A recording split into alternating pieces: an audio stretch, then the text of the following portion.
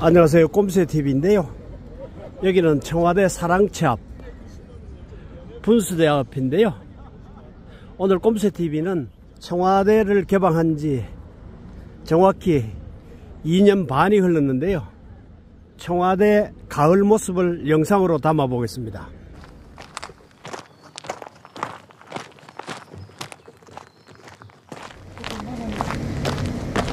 청와대 관람전에 배경 지식 설명을 듣고 있네요. 청와대로 들어가기 위해서 정문으로 지금 가고 있습니다.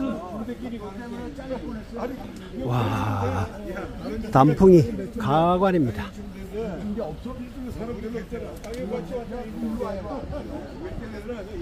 경복궁 맨 뒤쪽에 있는 신무문인데요.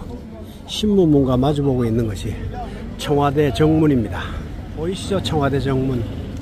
청와대 입구입니다. 둘 I mean, I mean goes to or around.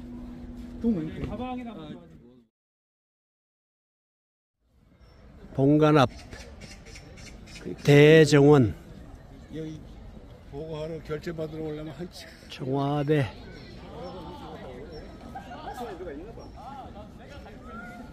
(91년 9월 4일) 준공이 됐다고 적혀 있습니다 청와대 구 본관터 경무대가 있던 자리인데요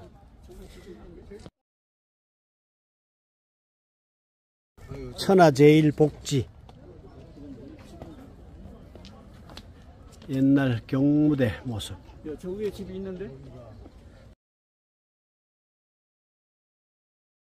청와대 관저 앞이고요.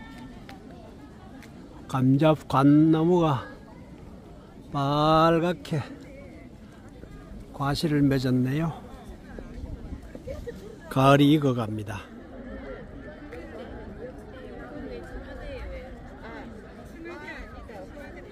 청와대 녹지원 주변 가을 풍경인데요.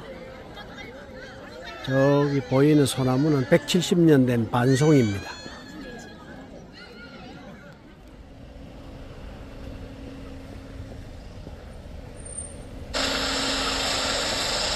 오늘 꼼새TV가 소개한 청와대의 이런 가을 단풍 모습 어떠셨나요?